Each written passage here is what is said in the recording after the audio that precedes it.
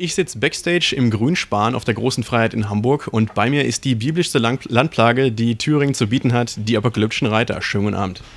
Hallo Stefan. Hallo Stefan, guten Abend. Hallo Leute. Euer neues Album Licht, das jetzt gerade rausgekommen ist, äh, ist sehr erfolgreich unterwegs, ist auf Platz 29 in den Charts eingestiegen. Und ähm, ja, ich für meinen Geschmack, wo ich euch schon lange verfolge, ähm, würde behaupten, dass es ein wenig äh, eingängiger ausgefallen ist als bisher. Mit Adrenalin ist euch ein richtiger Hit gelungen. Seht ihr das genauso, dass ihr ein bisschen auf dem neuen Album einfacher gestrickt seid als vorher? Ähm, das würde ich nicht sagen. Es gibt wieder ganz unterschiedliche Songs, ganz unterschiedliche Einflüsse und ganz unterschiedliche Themen, die bearbeitet werden. Was uns in der Tat gelungen ist, ist sehr eingänglichere Franks zu schaffen. Und wenn ich das mal selber von mir sagen darf, ähm, ja, ich kann einfach besser singen als vorher. Ich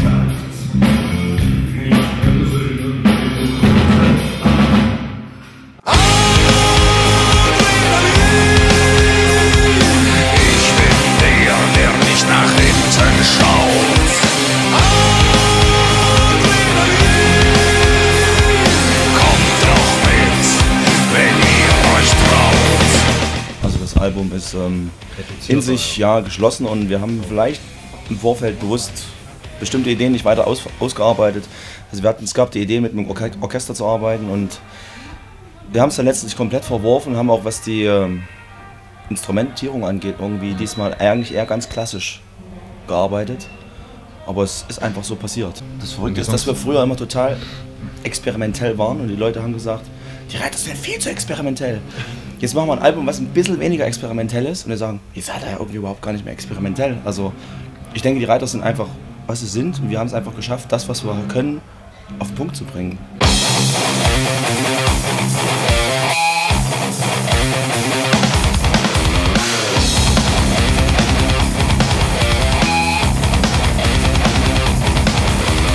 Die Chartplatzierung ist die höchste, die ihr bisher hattet, richtig? Ja, und auch die längste. Auch in äh, Österreich und der Schweiz waren wir in den Charts. Also das läuft sehr gut. Könnt ihr euch das erklären, dass in letzter Zeit immer mehr Metal in die Alben, äh, in, die, in die Charts tats tatsächlich äh, gelangt? Das, also mehr als früher? Ist es, seht ihr das vielleicht ähnlich, dass, ähm, dass ähm, Metalheads doch tatsächlich noch Leute sind, die sich wirklich Alben kaufen, statt sie sich irgendwo anders zu besorgen? Ja, das äh, spielt sicherlich eine- Rolle und Metal ist auch wieder größer oder Rockmusik im Allgemeinen als, sage ich mal, vor 10, 15 Jahren. So mit einer Gitarre verschreckst du heute echt gar keinen mehr. Und auch die Jugendkultur, was jetzt hochkommt, gehen irgendwelche Mädchenklamottenläden, da kannst du irgendwie so diese, diese ganze Kultur, was, was Rock ausmacht, kannst du ja heute so von der Stange kaufen. Das ist einfach ein Lifestyle. Bands Sonic Syndicate oder Band wie Marionette, wie wir mit auf Tour haben, die äh, sehen aus, als wenn sie aus der Disco kommen könnten. Also da ist so äh, mit ich bin ein Rebell und ich bin anders, ist da irgendwie nicht mehr so. Wie, wie kommt ihr dazu, stets solche Bands im Vorprogramm zu haben, bei denen man drei, viermal hinhören muss, bis man vielleicht eine Verwandtschaft mit eurer Musik entdeckt? Ja, dann habe ich noch eine Gegenfrage. Wer passt denn zu uns?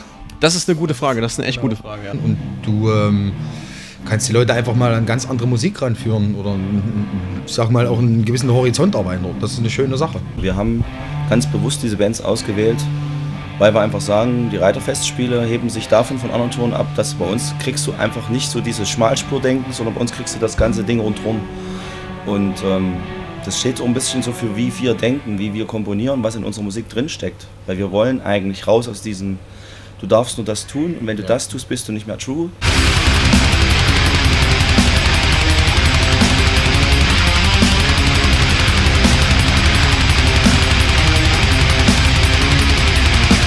Ihr habt auf jeden Fall immer noch ähm, Stücke, die nach vorne gehen. Ihr habt Stücke, die sehr eingängig sind. Und aber auch wieder die, die Balladennummern. Und wie schafft ihr es oder wie, was ist es beim Songwriting, was euch dazu bringt, einmal Songs zu schreiben, die wirklich himmelhoch jauchzend sind und dann wiederum Songs zu schreiben, die, ähm, ja, die, die todtraurig sind, wie zum Beispiel Der Elende? Na, das ist das Leben. Ich sage ja immer wieder, das Leben schreibt Lieder und es ist einfach das, was uns begegnet, was uns berührt, fließt in die äh, Musik mit ein. Wie du das angesprochen hast, der Elende zum Beispiel, ist eine ganz konkrete Geschichte. Den Typen gibt es wirklich und der kraucht in Bangkok rum. Okay. Adrenalin ist äh, in einer Angstsituation entstanden beim Klettern und so führt sich das fort. Wir sind alle sehr reiselustig mittlerweile. okay. Wir versuchen immer dadurch auch mal aus den täglichen Verpflichtungen und täglichen Gedankengängen rauszukommen. wenn du jeden Tag Tagesschau guckst und Frankfurt Allgemeine liest, bist du irgendwann auch so ein totaler Nerd, der irgendwie nur das glaubt, was du einem vorgesetzt kriegst. Und deswegen mal einfach auch, was weiß ich, man muss einfach mal auch durch Asien laufen und mal denken, mein Gott, was für Probleme habe ich eigentlich hier? Was für Probleme haben die dort und wie kann man das in Relation setzen? Was ist jetzt wichtiger? Also, und wie hängt das alles miteinander zusammen, also auf der ganzen Welt? Ihr seid jetzt mittlerweile schon ein gutes halbes Jahr mit einem neuen Line-Up unterwegs. Ähm, ihr hattet euch ja einstmals, habt ihr euch erweitert. Da seid ihr dann aus den vier apokalyptischen Reitern sind dann tatsächlich fünf geworden. Und nun habt ihr den nächsten Schritt getan. Das war das Chaos. Es ist nur in der Bibel nicht erwähnt worden. okay. Es gibt ältere Bücher. War das Chaos auch der Grund, warum er jetzt nicht mehr dabei ist? Ähm, nein. Das ist eben einfach so, dass sich manchmal Lebenswege trennen. Also da muss man auch nicht irgendwie böse sein, da kann man vielleicht mal traurig sein. Solche Dinge passieren einfach. Menschen entwickeln sich in andere Richtungen, haben andere Ziele, andere Vorstellungen vom Leben. Ja. So ist das halt einfach. Wir hatten halt einfach nicht mehr das Gefühl, dass, dies, dass es so gepasst hat. Und wir hatten eine Vision mit der Band und das ging nicht so richtig übereinander, sage ich mal.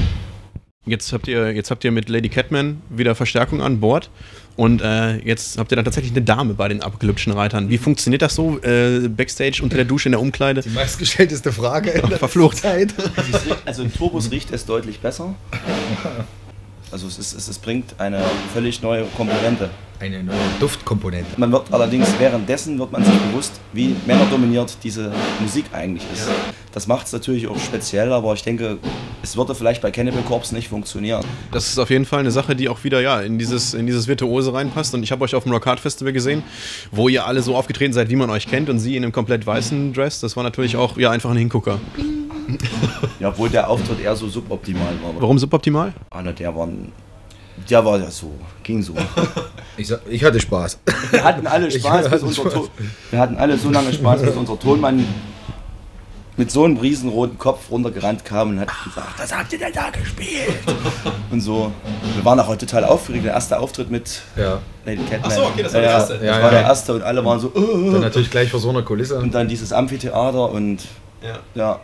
also es ist nicht so alles glatt gelaufen, aber wie gesagt, Stimmung war top und wir sind, glaube ich, auch drittbeliebteste Band ge gewählt worden von den Zuschauern.